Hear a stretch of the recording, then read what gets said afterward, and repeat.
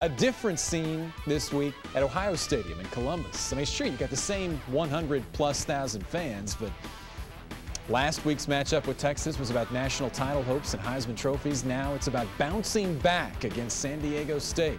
But at least the Buckeyes settled on a quarterback this time. As always, a full house at the shoe. And they'd only been in their seats a few minutes when it got really quiet. First play of the game. The Aztecs quarterback Kevin O'Connell swings it out to Brett Swain. And you might notice the lack of scarlet jerseys in the picture. 80 yards later, it's 6 0 SDSU.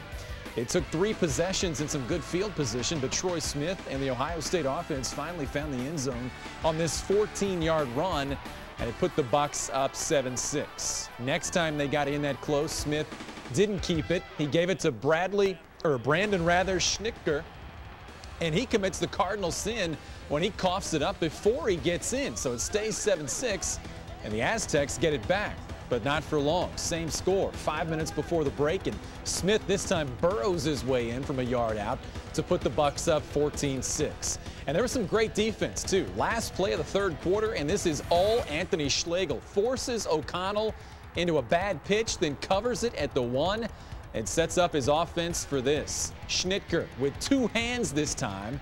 That's a good idea. He gets in from point blank range.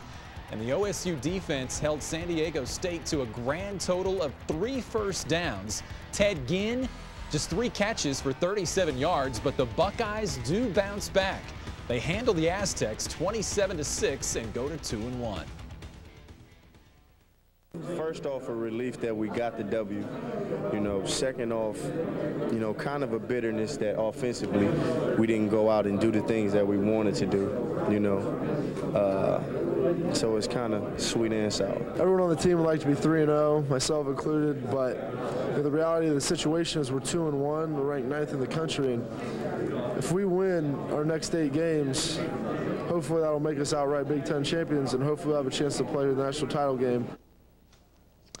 What about Shane Montgomery's team this week? Miami heads to Kent State in search of win number one, and the Redhawks did come away with said win. Josh Betts threw a pair of touchdowns to Martin Nance, and Brandon Murphy ran one in from a yard out. 27 to 10, the final score. Up next, Miami's got a week off before they take on UC on September